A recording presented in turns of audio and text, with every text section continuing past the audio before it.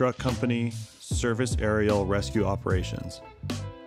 This video will outline the service aerial rescue operations for the Engineer Candidate Certification, or ECC. Prior to beginning the operation, the candidate will have an opportunity to pre trip the service aerial truck.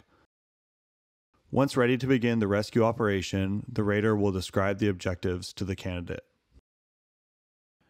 The candidate must ensure they are wearing the proper PPE, not wearing a helmet in the cab, check for crew and apparatus security, ensuring everyone is seated and seatbelted in the cab and that all compartment doors are closed prior to moving. Turn on all emergency lights, including headlights. Once the spring brake is released, check the door and seatbelt warning lights. Spot the apparatus turntable in the correct location for aerial operations. If possible, the truck should be spotted on the corner of the building or objective for optimal reach. Set the parking brake and front brake. Time starts. Place the transmission into neutral. Engage the ladder master and ladder PTO devices.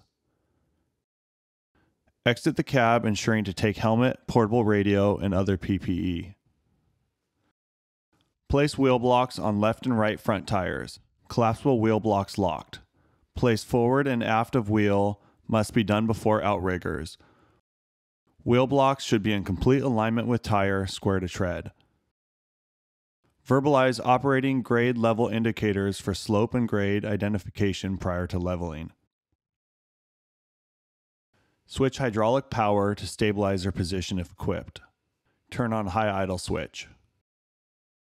Extend outriggers, low side first, high side second. Do not short jack. Place outrigger plates down. Place the plates with handles facing the truck side to avoid a trip hazard. Lower the jacks to the ground, low side first, utilizing stair step lifting if needed. Jacks should be placed in the center of the pads.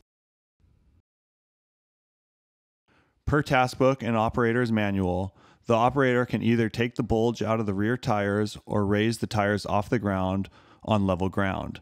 Front tires must maintain contact at all times. Verbalize and ensure apparatus level indicators are green for slope and grade.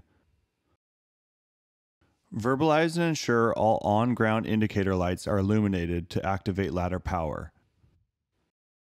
Place safety pins. Chains must be unrolled if equipped Ensure that the handle end does not come in contact with the outrigger box. Ensure that the T handle is to the outside. Switch hydraulic power to aerial if equipped. Close outrigger control doors if equipped. Replace pedestal safety chain after mounting turntable if equipped. Open cover to pedestal controls. Verbalize proper placement of control levers for rescue operations. Monitor portable radio at all times. Turn volume on aerial ladder intercom up to an audible level.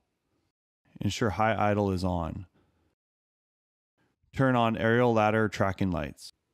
Issue clear and audible verbal statements prior to aerial ladder movement.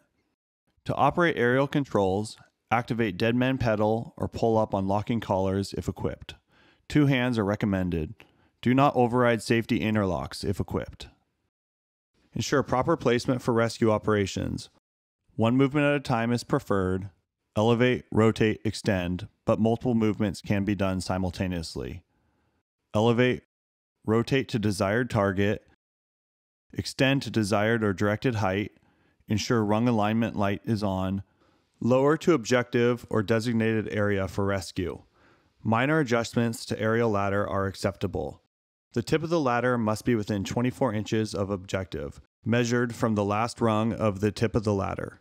No part of the ladder can touch the objective or structure during any ladder movement. All movement with aerial ladder must be smooth and safe. State aerial is ready for climbing. Notify rater that the evolution is completed by calling time. Rescue shutdown procedures. Properly signal for shutdown pickup. Utilize radio, voice, or hand signals to verify shutdown with personnel. Ensure ladder is between 70 and 75 degrees before retracting ladder. Retract ladder. Rotate ladder to bed position. Lower ladder. Stop ladder prior to bedding to visualize both sides for obstructions. Recheck nozzle position.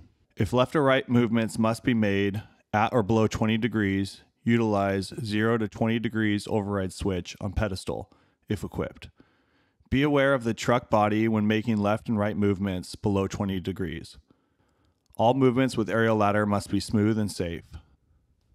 Lower ladder to cradle. Load hydraulic system until audibly bypassing to verify ladder is properly bedded 1000 psi on pedestal gauge. Turn off aerial lighting. Turn off intercom. Close pedestal cover. Exit turntable. Ensure safety chain is clipped in place if utilized. Remove and properly stow outrigger safety pins. Must be done before moving outriggers. Stow outriggers. Switch hydraulic power to stabilizer position if equipped. Raise and stow outriggers, high side first. Retract outriggers until seated. Close outriggers control doors if equipped. Replaced outrigger jack plates. In the cab, ensure jack's not nested light is off or check command zone if equipped. Disengage ladder PTO and master devices.